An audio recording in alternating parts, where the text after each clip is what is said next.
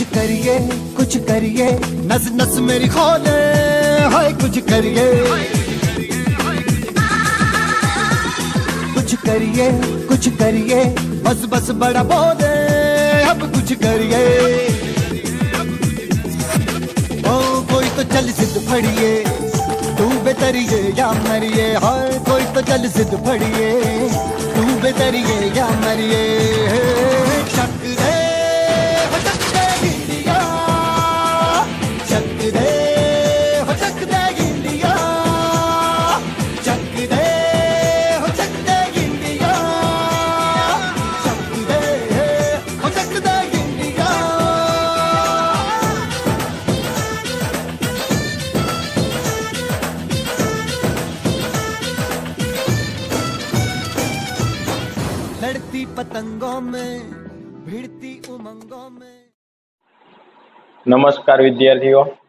ગયા લેક્ચરમાં આપણે વાત કરી હતી પેશીની.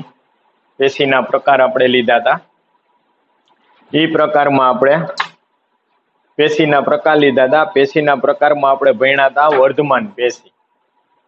પછી આપણે લીધું હતું જટિલ પેશીમાં. જટિલ પેશીમાં પ્રકાર ભણ્યા સરળ જટિલ પેશી.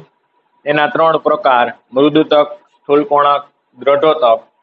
આજે આપણે એમાં આગળ વધી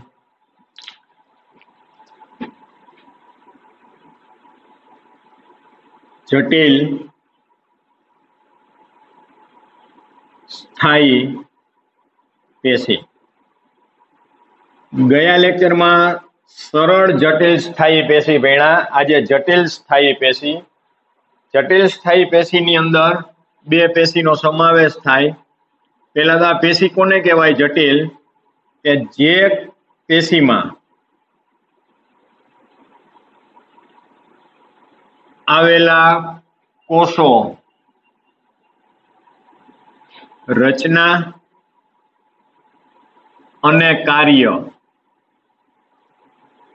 દ્રષ્ટિએ અલગ હોય. એટલે કોષોની રચના અલગ હોય, કોષો કાર્ય જુદું કરતા હોય, પણ આવા જુદું જુદું કાર્ય કરતા કોષો ભેગા થઈ, એક નિશ્ચિત કાર્ય કરે. જેને કારણે જટિલ સ્થાયી પેશીનું નિર્માણ થાય. જટિલ સ્થાયી પેશીના બે પ્રકાર છે. એક છે જલવાહક, બીજો અન્નવાહક.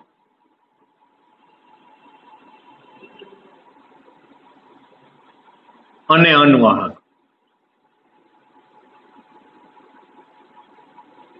જલવાહક અને અનવાહક તો નામ એવા ગુણ. જલવાહકની અંદર પાણી અને પાણીમાં દ્રાવ્ય ખનિજનું વહન વનસ્પતિના મૂળથી વનસ્પતિના પર્ણની ટોચ સુધી થાય. કેવી રીતે થાય? એના માટે આપણે ભણવાનું થશે બારમા ધોરણમાં ચેપ્ટર આવે જ છે. જ્યારે અનવાહક. અનવાહકમાં થાય માત્ર ને માત્ર ખોરાકનું વહન. પર્ણ દ્વારા તૈયાર થયેલો ખોરાક. વનસ્પતિના દરેક અંગો સુધી વહન પામે અને છેલ્લે મૂળ સુધી પહોંચે. આમ, જલવાહક અને અનવાહકને બેયને સંયુક્ત રીતે વાહક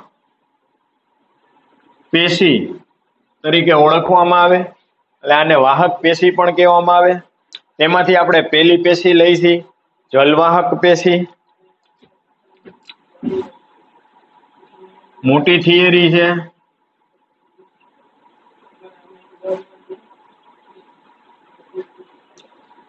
તો જલવાહક પેશીનો મુખ્ય ગુણધર્મ છે પાણી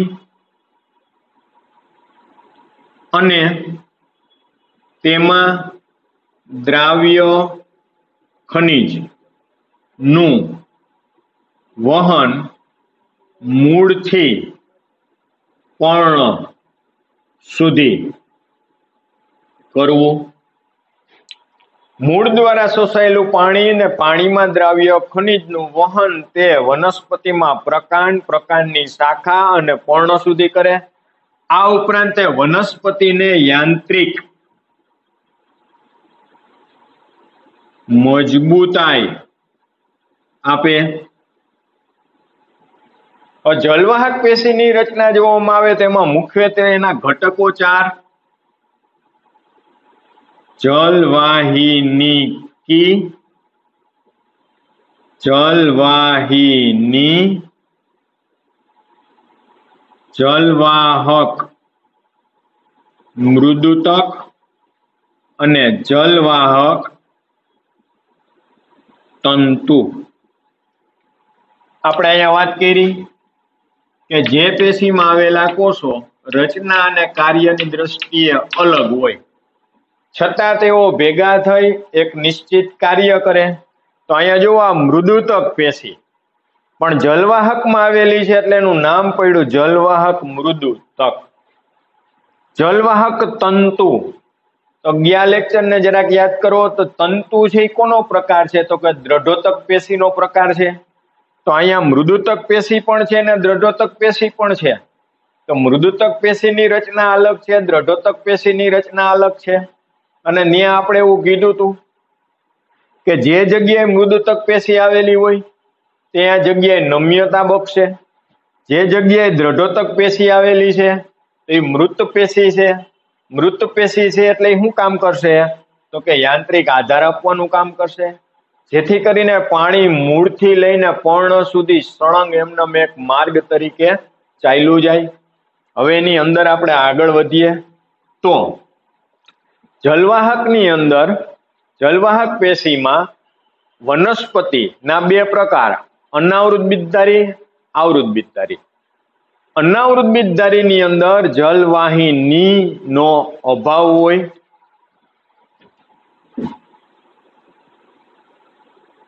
અનાવૃત બીજધારી વનસ્પતિમાં જલવાહિની નો અભાવ હોય. એની અંદર જલવાહિની કી આવેલી હોય. જલવાહિની કી અને જલવાહિની બે અલગ રચના છે. જલવાહિની કી ની આપણે વાત કરીએ તો એક ડાયાગ્રામ દ્વારા લઈ.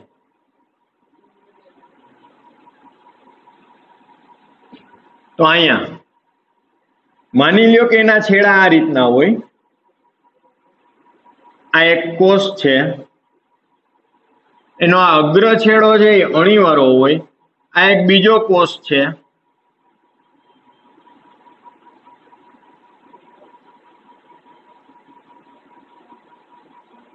એની નીચે આવેલો એક બીજો કોષ છે.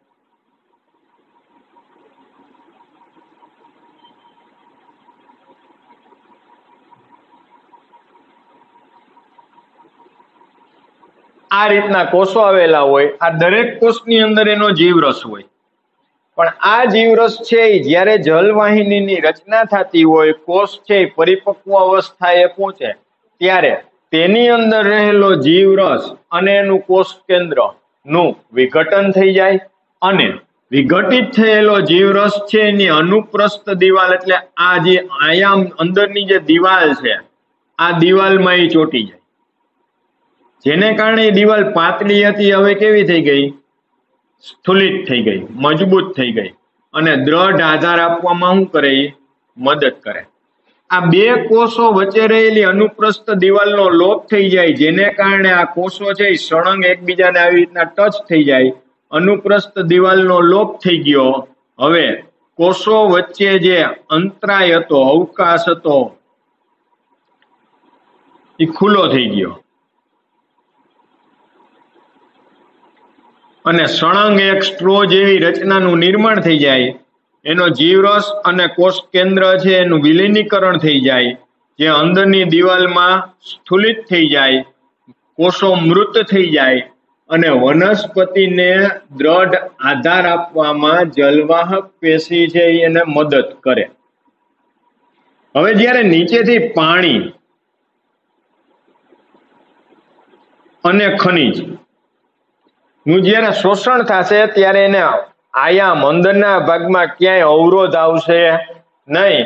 પાણી ને ખનિજ છે સળંગ એક સ્તંભ સ્વરૂપે, માર્ગ સ્વરૂપે ઉપર તરફ શું થાય ગતિ કરશે. ક્યાંય એને નડશે નહીં. બીજી ઘણા બધા પ્રકારના કોષ હોય. અમુક કોષોની અંદર આવી રચના આવેલી હોય.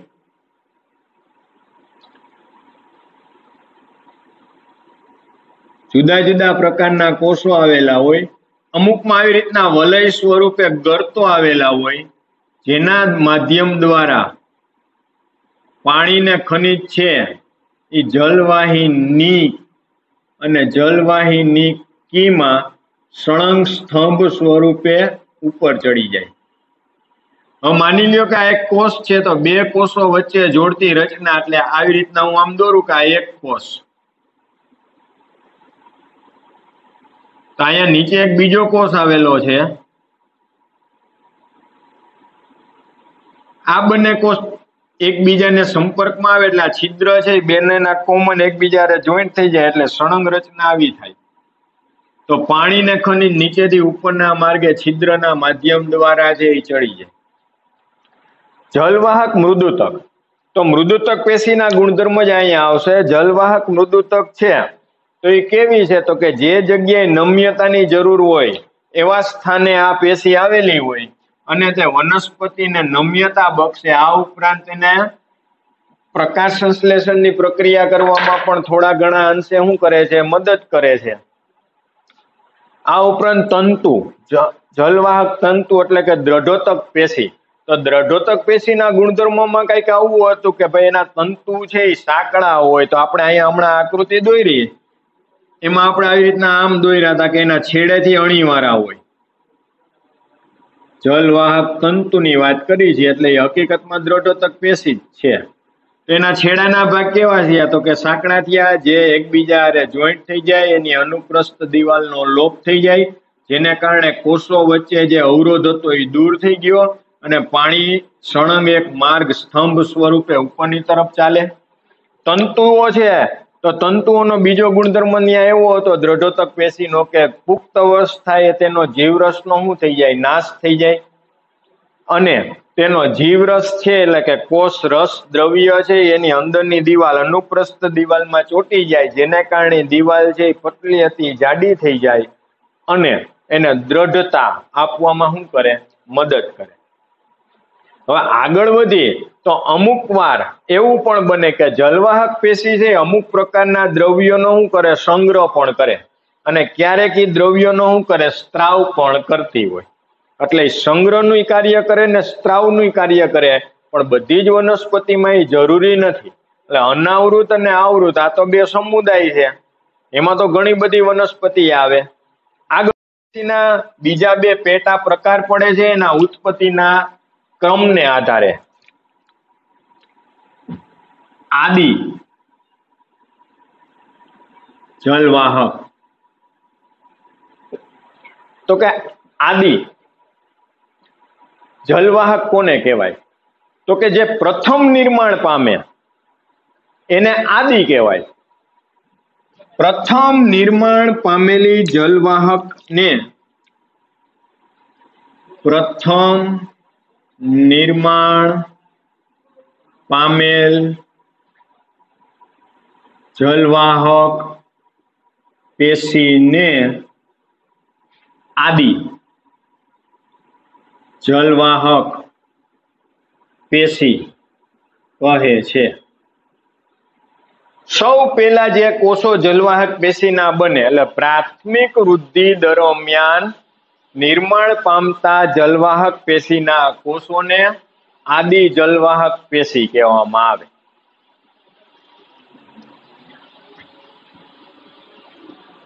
બીજો પ્રકાર છે અનુ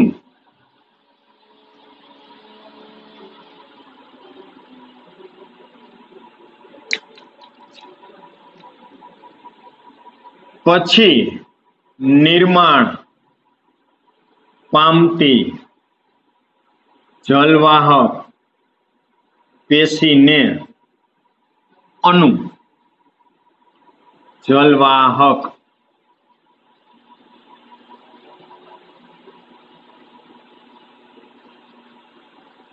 પેશી કે. એટલે કે પ્રથમ નિર્માણ પામી એને આપણે આદિ કીધી. આદિ જલવાહક પેશીનું નિર્માણ થઈ જાય પછી વનસ્પતિમાં જ્યારે દ્વિતીય વૃદ્ધિ થાય ને તે દરમિયાન જે જલવાહક પેશીના કોષો નિર્માણ પામે એટલે પછી નિર્માણ પામતા જલવાહક પેશીને શું કહેવાય? અનુજલવાહક કહેવાય. હવે આદિ જલવાહક ને અનુજલવાહક ને આધારે એની ગોઠવણીને આધારે એના પાછા બે બીજા પ્રકાર પડે. અંતરારંભી અને બહિરારંભી. પ્રથમ નિર્માણ પામેલ જલવાહક ને આદિ જલવાહક. પછી નિર્માણ પામેલ ને અનુ જલવાહક. એટલે આદિ ને અનુ. આદિ જલવાહક એટલે એનું નામ પડે આદિ દારૂ. પછી નિર્માણ પામેલ અનુ જલવાહક એનું નામ પડે અનુ દારૂ ગોઠવણીને આધારે. આના વિશે વધુ માહિતી આપણને મળશે. જ્યારે આપણે મૂળના છેદનો અભ્યાસ કરશું, ત્યારે આગળ લેક્ચરમાં જાશું. ત્યારે કે આદિ દારૂ અને અનુદારૂ છે શું? પ્રથમ નિર્માણ પામેલી જલવાહક ને આદિ જલવાહક એ કહેવાય. એનું જ બીજું નામ છે આદિ દારૂ પછી નિર્માણ પામેલી જલવાહક ને અનુ, જલવાહક કહેવાય અથવા તો એને અનુદારૂ કહેવાય. હવે આની ગોઠવણીને આધારે એના પાછા બે પ્રકાર પડ્યા. હવે આ આદિદારૂ ને અનુદારૂની ગોઠવણીને આધારે પાછા એના બે પ્રકાર પડ્યા. અંતરારંભી અને બહિરારંભી.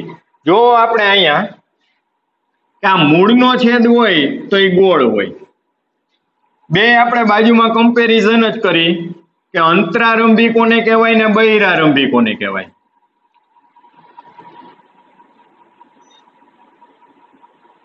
આ અંતરારંભી અહીંયા કોઈ બહિરારંભી. હવે જલવાહક પેશી છે, છોકરાવી ક્યાં હોય તો કે એના કેન્દ્રમાં. હવે અહીંયા હું આવી રીતના કોષ દોર નાખું. માની લ્યો કે આ કોષો છે એ આદિદારુના છે. કે અનુદારું થોડીક વાર તમે ભૂલી જ જાઓ કે કયા કોષ છે.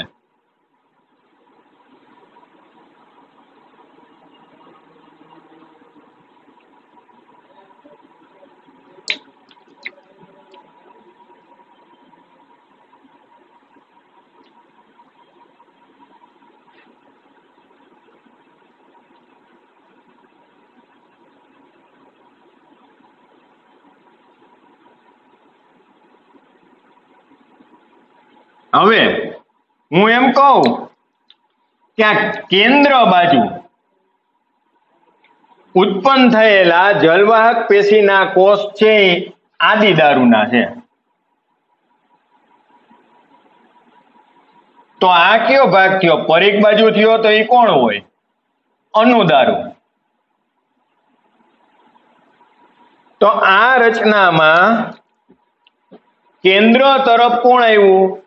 આદિ દારૂ આવ્યું અને પરીખ બાજુ કોણ આવ્યું અનુદારૂ આવ્યું તો આ પ્રકાર કયો થયો? અંતરારંભી. અહીંયા. આ કોષ કોના થયા? તો કે આ કોષ થયા આદિ દારૂના. તો આદિ દારૂ પરીખ બાજુ ગયું. અને અનુદારુ ક્યાં ગયું? કેન્દ્રમાં. તો આદિ દારૂ બહાર થયું ને, એટલે બહિરારંભી. અહીંયા આદિ દારૂ ક્યાં છે? અંદર. તો અંતરારંભી. એટલે યાદ રાખવું સાવ સહેલું જ છે. તમારે એટલું જ યાદ રાખવાનું છે કે જો આદિ દારૂ કેન્દ્ર બાજુ હોય અનુદારૂ પરિક બાજુ હોય, તો આ જલવાહક પેશીનો પ્રકાર અંતરારંભી થાય. કારણ કે આદિ દારૂ અંદર છે. રેડી આ આકૃતિમાં જોવો. તો આદિ દારૂ ક્યાં છે? બાર એટલે કે પરિક બાજુ. ને અનુદારૂ ક્યાં છે? કેન્દ્રમાં છે. તો આદિ દારૂ બહાર છે એટલે બહિરારંભી છે. તો આ થઈ છોકરાઓ આપણી જલવાહક પેશી. આગળ. પાછી એની થોડીક હીટ લઈ લઈ. તો કે ભાઈ જટિલ સ્થાયી પેશી. જે પેશીમાં આવેલા કોષો રચનાને કાર્યની દ્રષ્ટિએ જુદા છે, પણ તેઓ બધાનું સંયુક્ત કાર્ય ભેગું કરીએ તો એક નિશ્ચિત કાર્ય થાય છે. તો આ પ્રકારની પેશીને જટિલ સ્થાયી પેશી કહેવાય. જટિલ સ્થાયી પેશીમાં બે પેશીનો સમાવેશ થાય. જલવાહક ને અનવાહક. જલવાહક પેશી પાણી અને ખનિજનું વહન કરે.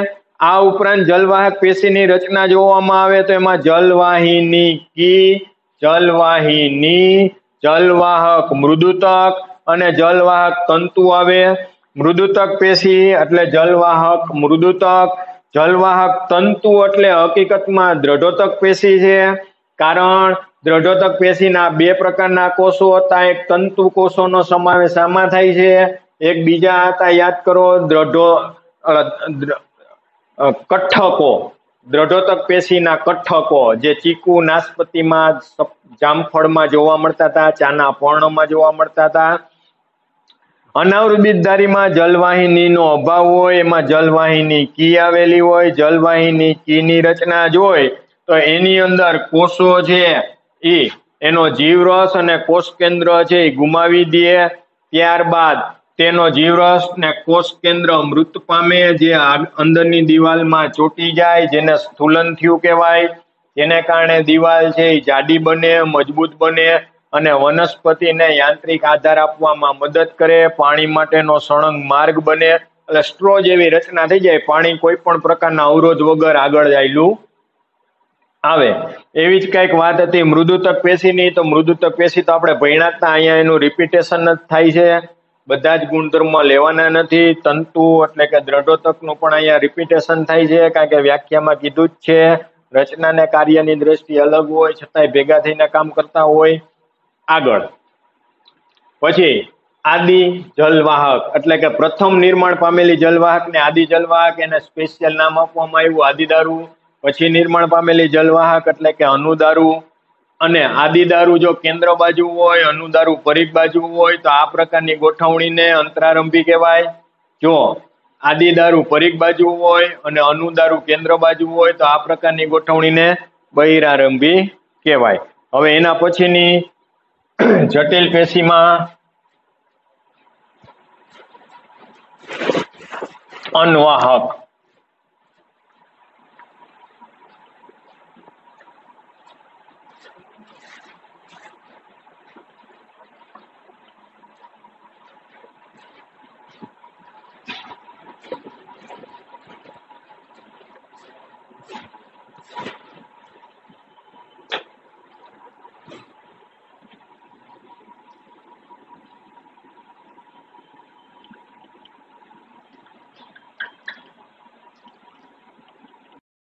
હવે આગળ બીજી પેશી અનવાહક પેશી.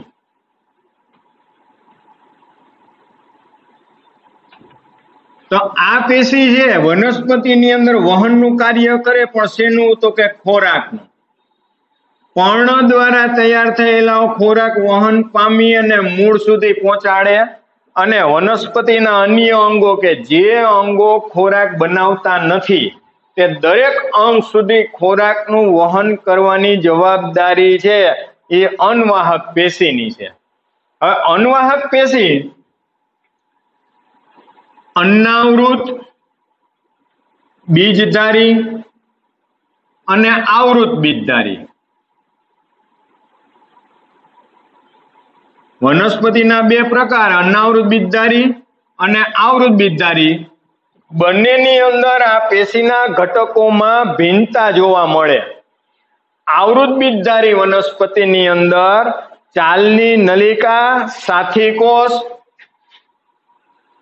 ચાલની નલિકા, સાથી કોષો, અનવાહક, મૃદુતક અને અનવાહક તંતુ ઘટકો આવેલા હોય, જ્યારે આવૃત વનસ્પતિમાં આલ્બ્યુમિનના બનેલા કોષો, એટલે એને આલ્બ્યુમિન કોષો અને ચાલની કોષો હોય. આલ્બ્યુમિન કોષો, ચાલની કોષો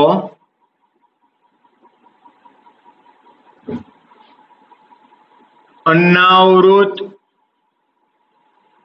સોરી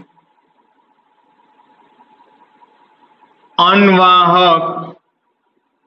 મૃદુતક અને અનવાહક તંતુ. હવે જુઓ બે વચ્ચેનો ભેદ.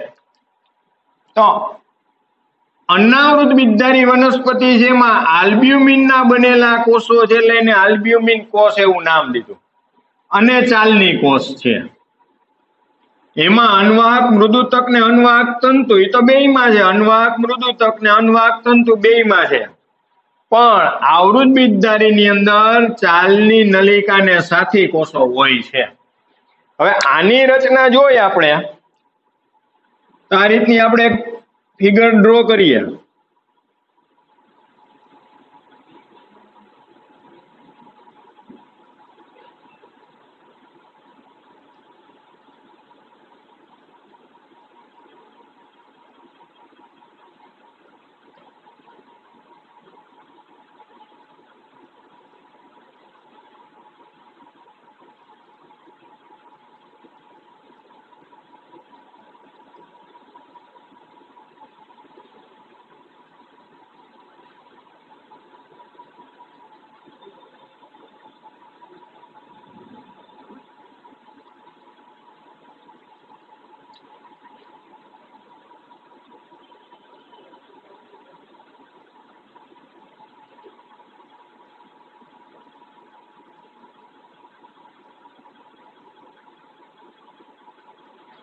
આપણે આ એક કોષને ટાર્ગેટ રાખી. આ એક કોષ પૂરતું જ ખાલી વિચારી. કે આ ચાલની કોષ છે.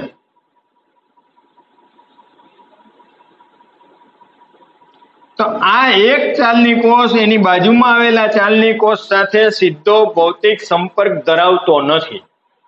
એમની બેની વચ્ચે રહેલા જગ્યામાં, અવકાશમાં થાય એવું કે આ ચાલની કોષ ને આ ચાલની કોષની વચ્ચેના ભાગમાં છિદ્રની રચના થાય.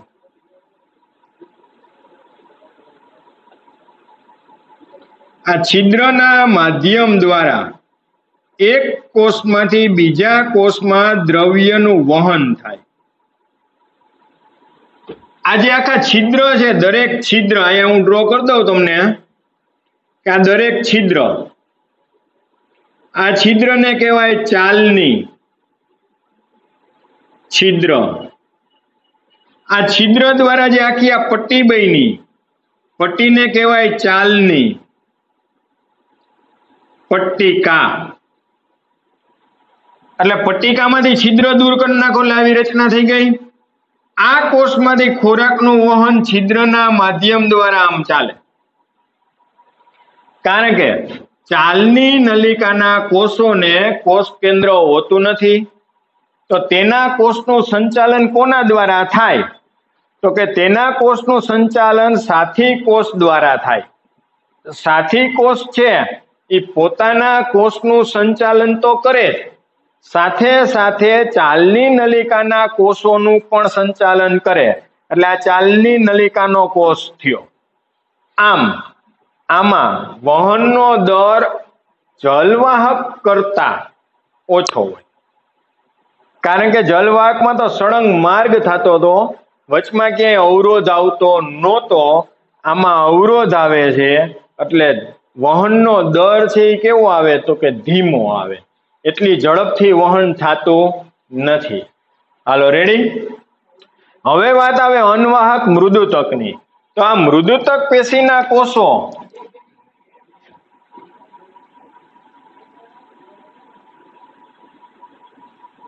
મૃદુતક પેશીના કોષો શું કામ કરશે? તો કે તેઓ વનસ્પતિની નમ્યતા બક્ષે. કારણ તો કે એનો ગુણધર્મ છે, સરળ પેશી છે ને, એ તો આમાં જોઈન્ટ થઈ. એટલે આપણે એમ કીધું, અનવાહક મૃદુતક. મૃદુતક પેશીના કોષો છે, જે નવી શાખાઓ ઉત્પન્ન થતી હશે. કુંબળી શાખાઓ હશે. કે જે શાખા શરૂઆતમાં લીલી છે, એ નમ્યતા વાળી હોય. એમાં સ્થિતિસ્થાપકતાનો ગુણધર્મ હોય. તો મૃદુતક કોષો જે કામ કરશે ને તંતુ કોષો. એટલે અનવાહક તંતુ, એટલે કે દ્રઢોતક પેશી. આ દ્રઢોતક પેશીના કોષો છે, એ એના ગુણધર્મ પ્રમાણે અમુક સમય બાદ મૃત્યુ પામશે, એનો જીવરસ છે એ ગુમાવી દેશે. એનો કોષ કેન્દ્રનો નાશ થઈ જશે, દિવાલને સ્થુલિત કરશે, દિવાલની યાંત્રિક આધાર આપવાનું કામ છે વધી જશે. જેને કારણે વનસ્પતિમાં સળંગ, અન્વાહક પેશી એક સ્તંભ સ્વરૂપે રહે આ ઉપરાંત અન્વાહક પેશી છે શીર, રેનિન, ગુંદર જેવા દ્રવ્યોનો સંગ્રહ કરે. અને જ્યારે જરૂરિયાત પડે ત્યારે તેનો સ્ત્રાવ પણ કરે. દાખલા તરીકે આપણે ફાફડો થોર છે એને તોડીએ એટલે અંદરથી શીર નીકળે. આ લીમડો, આંબો, એમાંથી ગુંદ નીકળે. બરાબર? પછી કાચી કેરી હોય, એના ડીટીયાના ભાગેથી તમે આમ તોડો એટલે અંદરથી સફેદ કલરનું પ્રવાહી નીકળે, જેને આપણે શું કહીએ? શીર કહી પણ એ બધા બંધારણની દ્રષ્ટિએ સમાન નથી. આપણે તો એક જ વસ્તુ કહી કે ભાઈ અંદરથી પર્ણને તોડો કે ડાળીને તોડો, પ્રવાહી જેવો પદાર્થ નીકળે. એ પારદર્શક હોય કે સફેદ દૂધ જેવો હોય. આપણે એને શીર બોલી છીએ. એ બધું શીર હોતું નથી. આમાં પણ અન્વાહક પેશી પણ. જેમ જલવાહકની અંદર આદિદારૂ ને અનુદારૂ તો આમાં પ્રથમ નિર્માણ પામતી અન્વાહકને પ્રાથમિક અન્વાહક કહેવામાં આવે. પછી નિર્માણ પામતી અન્વાહકને દ્વિતીયક અન્વાહક તરીકે પણ ઓળખવામાં આવે કે આદિ અને અનુ. આદિ અન્વાહક, અનુ અન્વાહક તરીકે પણ ઓળખવામાં આવે. પણ અહીંયાના અંતરારંભી ને બહિરારંભી એવા પ્રકાર નથી. એટલે કોઈ એવું ન વિચારતા કે સાહેબ એના પ્રકાર? તો ભાઈ એના પ્રકાર હોતા નથી. અહીંયા આપણી બે, જટિલ સ્થાયી પેશી પૂરી થઈ. આમ આપણે અત્યાર સુધી ચેપ્ટરમાં વર્ધમાન પેશી એના ત્રણ પ્રકાર અગ્રસ્ત આંતરવિષ્ટ ને પાર્શ્વસ્ત સરળ સ્થાયી પેશીના ત્રણ પ્રકાર, મૃદુતક, સ્થૂલકોણક, દ્રઢતક. જટિલ સ્થાયી પેશીના બે પ્રકાર, જલવાહક ને અનવાહકનો અભ્યાસ કર્યો. હવે આપણે આગળ ચેપ્ટરમાં જાશું ત્યાં આવશે પેશી તંત્ર. ઈ પેલા આજનું હોમવર્ક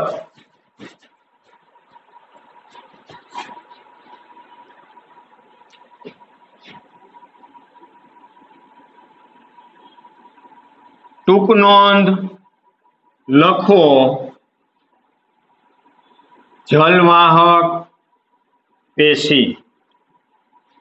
ને બીજી થિયરી ટૂંક નોંધ લખો